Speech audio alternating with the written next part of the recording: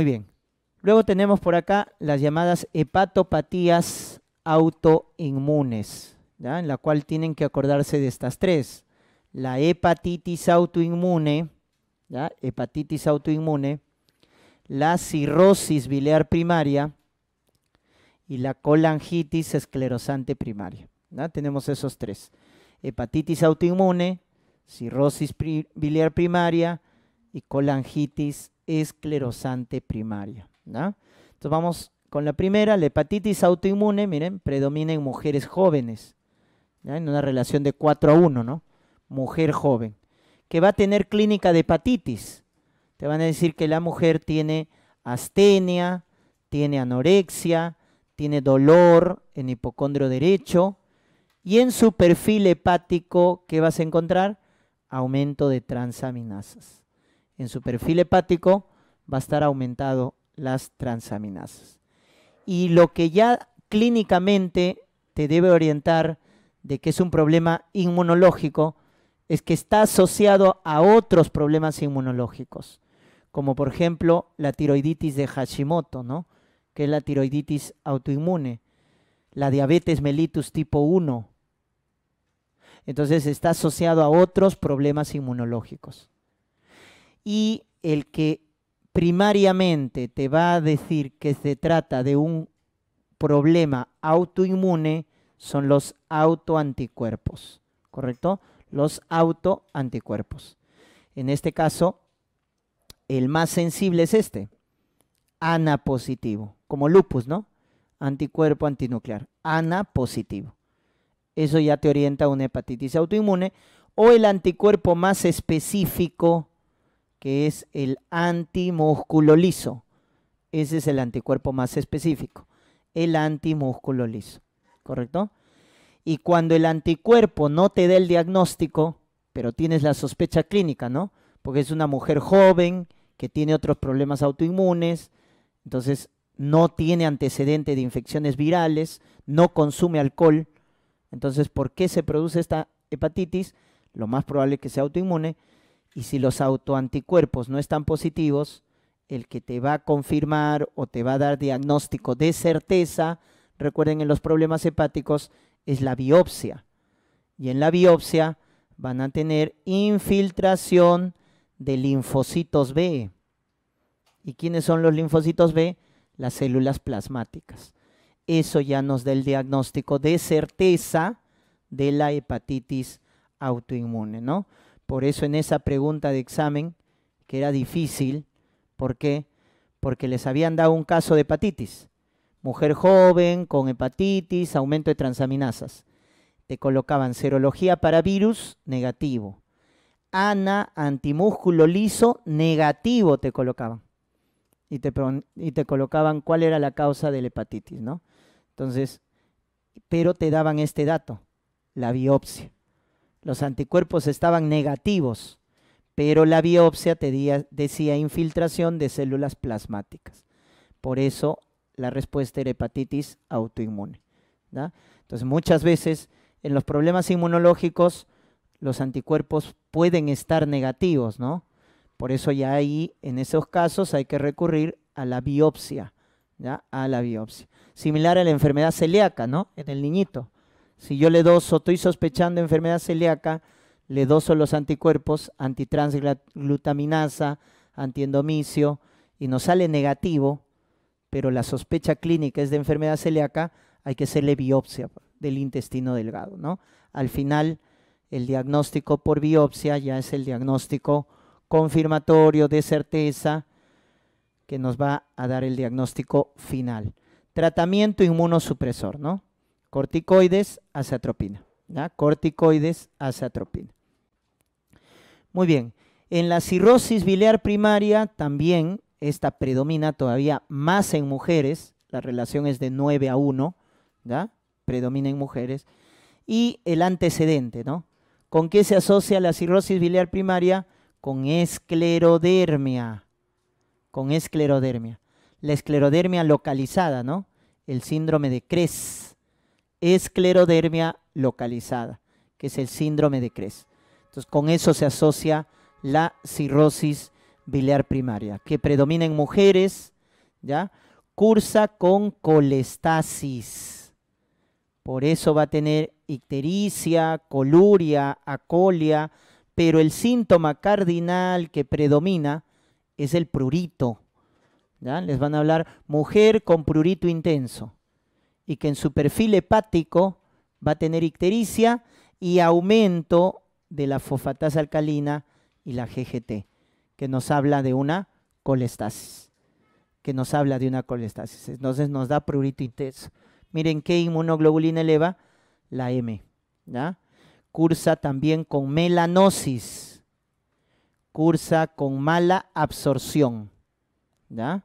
Por eso la cirrosis biliar primaria este, ¿no? cursa con melanosis, mala absorción, y este anticuerpo, ¿no? Este es el que nos define el problema autoinmune, que es el antimitocondrial. Anticuerpo mitocondrial.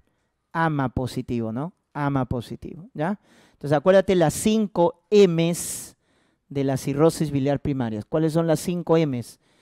Mujer, porque predomina, ¿no es cierto?, en sexo femenino. Eleva la IgM, su anticuerpo se llama antimitocondrial, cursa con melanosis y mala absorción. ¿ya? Esas son las 5 M's de la cirrosis biliar primaria. Mujer, eleva IgM, antimitocondrial, cursa con melanosis y mala absorción. ¿ya?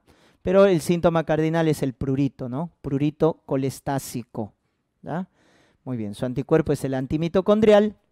Y en la biopsia que vamos a tener, esto de acá lesión de los conductos biliares intrahepáticos, ¿no es cierto? Porque es una causa de colestasis intrahepática.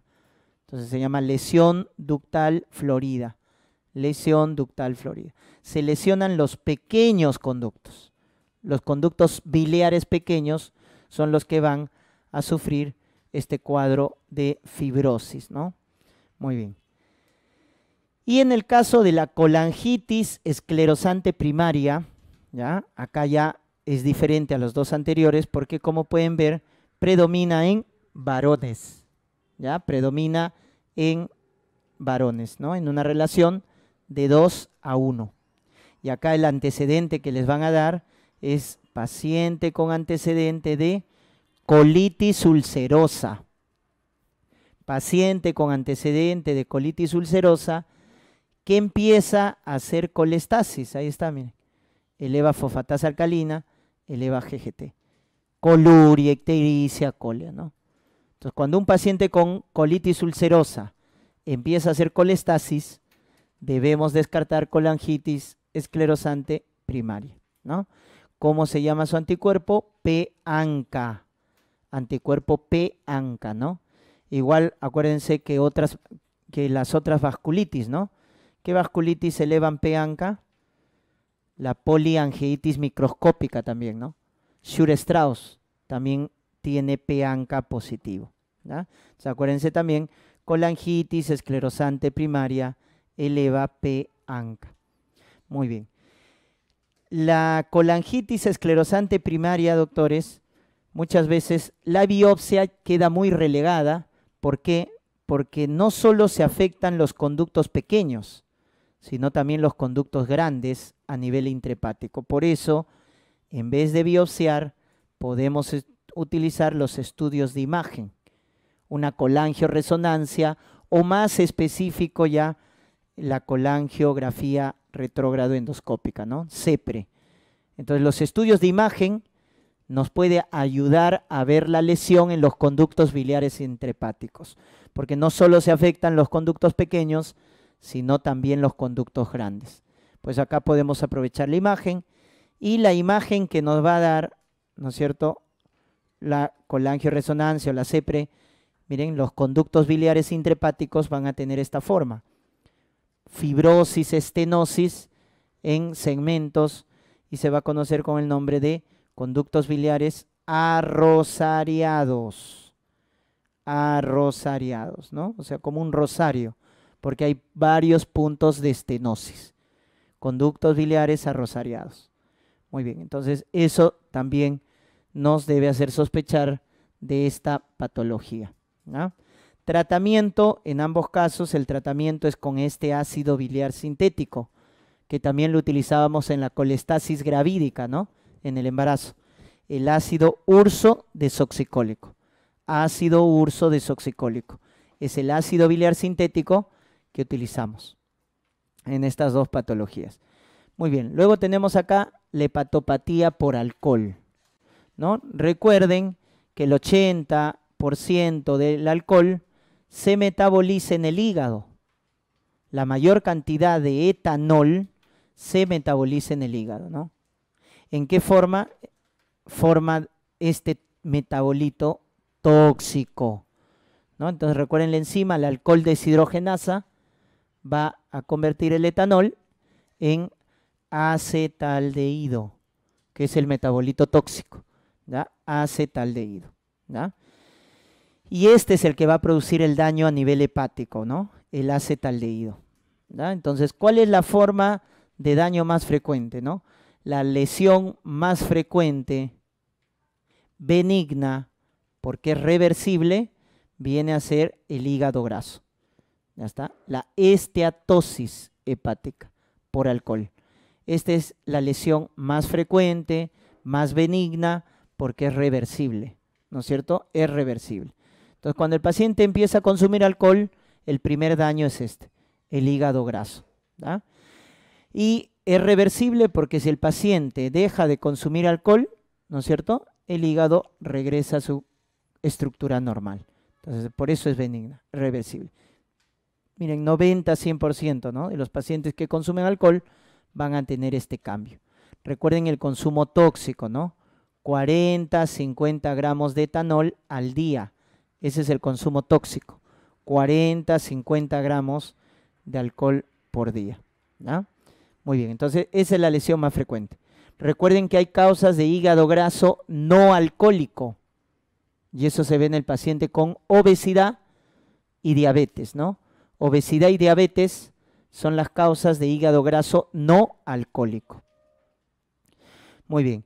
Y cuando ya se expone de manera intensa, es decir, cuando hace una exposición aguda, intensa, ¿qué puede desencadenar? Una hepatitis. Y cuando ya se produce la hepatitis por alcohol, no solamente vamos a ver el cambio graso que tenía el hígado graso, ¿no? sino que acá vamos a ver necrosis del hepatocito. Necrosis, inflamación. Los llamados cuerpos de Mallory. Cuerpos de Mallory se observan en la hepatitis por alcohol. ¿ya? No son patognomónicos, ¿ah? también se ven en otras patologías, pero justamente también el alcohol produce en los cuerpos de Mallory. ¿ya? Entonces hay necrosis, inflamación asociado al cambio graso. Y la característica de la hepatitis por alcohol, doctores, es que eleva las transaminasas, pero la que predomina es la TGO. La que predomina es la TGO sobre la TGP. Entonces la elevación de TGO es mayor con respecto a la TGP. Esa es la característica de la hepatitis por alcohol. La elevación de transaminasas es a predominio de TGO en una relación de 2 a 1, ¿no? En una relación de 2 a 1. También eleva de forma aislada GGT. Eleva de forma aislada GGT. Y en el hemograma, ¿cuál es la característica del alcohol? Que genera macrocitosis. Cuando te dicen anemia macrocítica, pero ojo, no megaloblástica, pues, ¿no? No megaloblástica porque la anemia macrocítica megaloblástica es por déficit de folato B12. Esta es una anemia macrocítica no megaloblástica, cuando es por consumo de alcohol.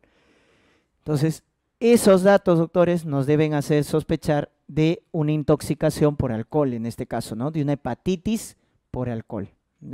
Y hay un síndrome también, por ahí que les puedan preguntar, que es el síndrome de CIEF el síndrome de CIEF, que cursa con una hepatitis por alcohol, con dislipidemia y hemólisis. Hepatitis por alcohol, dislipidemia y hemólisis. Esa es la triada del llamado síndrome de CIEF. Hepatitis alcohólica, dislipidemia y hemólisis. ¿Correcto? Hemólisis. Muy bien. Luego tenemos por acá el tratamiento de la hepatitis por alcohol. Cuando es un hígado graso, simplemente la recomendación es apoyo nutricional y abstinencia, ¿no? En el hígado graso. En la hepatitis por alcohol, aparte del apoyo nutricional, y hay que dar manejo farmacológico, sobre todo en los casos graves. Y ahí el tratamiento es con corticoides. La hepatitis con alcohol, por alcohol se trata con corticoides. ¿Estamos? Muy bien, entonces utilizamos prednisolona por vía oral. La alternativa es la pentoxifilina, ¿no? Esta es la alternativa, la pentoxifilina. Muy bien.